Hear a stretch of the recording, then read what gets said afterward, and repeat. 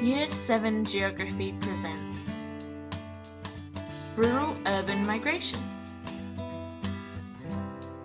Rural places have lots of wide open spaces with very few buildings and a small population. Urban places are very developed with lots of buildings, roads, bridges and railways. They have a large population.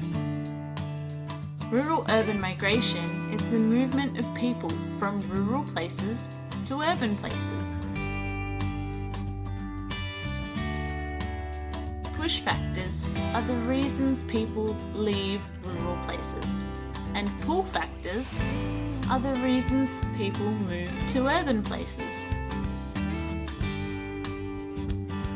Push factors can include not enough work, lack of food, difficult conditions, land degradation, lack of clean water, poor education, poor electricity and technology, poor sewerage, limited or no healthcare.